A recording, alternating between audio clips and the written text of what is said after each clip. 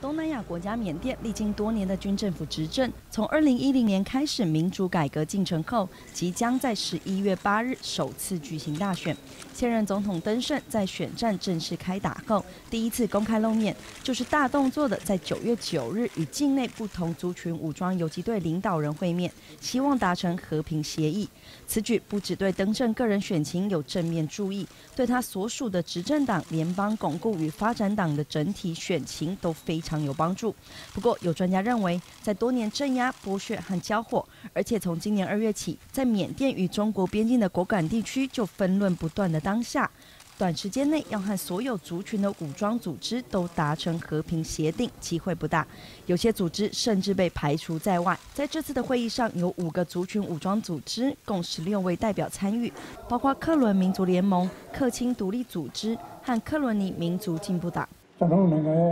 ဒီမိုကရေစီအသွင်ကူးပြောင်းရေးကငြင်းငြင်းရေးမရရှိဘဲနဲ့မဖြစ်နိုင်ဆိုတာကိုအလေးနဲ့ထားပြီးပြောကြားလိုပါတယ်။ဒါကြောင့်တနင်္ဂနွေလုံးငြင်းငြင်းရေးကိုကောင်းမွန်မှန်ကန်တဲ့ဆန္ဒနဲ့ဝိုင်းဝန်းဆွေးနွေးကြဖို့ကျွန်တော်အနေနဲ့ဖိတ်ခေါ်ပါတယ်။အခုစက်တင်ဘာလမှာကုန်ပြီမှာလမ်းမရေးထိုးနိုင်ဖို့အတွက်ဒီကနေ့အစည်းအဝေးမှာပဲကျွန်တော်တို့အားလုံး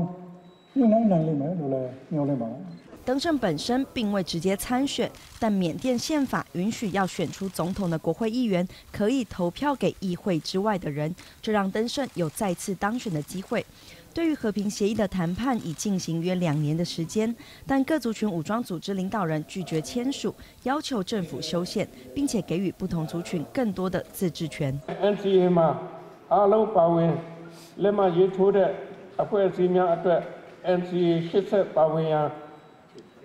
အဖုအထစ်ဖြစ်နေတဲ့ညီနောင်များအားလုံး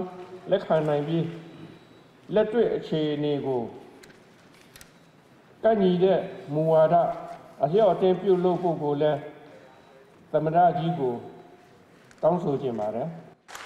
缅甸境内有一百三十五个被政府所承认的民族，和占总人口百分之六十八且掌控政府的缅族人之间长期存在紧张关系。从一九四八年缅甸独立以来，许多族群就自行组织武装战斗团体。缅甸反对党领袖翁山苏基在上周曾公开呼吁各族领导人不要造进签订和平协议，必须审慎评估协商，以确保永久的和平稳定。而所有的组织都应该被纳入协定之中。一般预估，翁山苏基所领导的全国民主联盟会在这次的选举中大获全胜。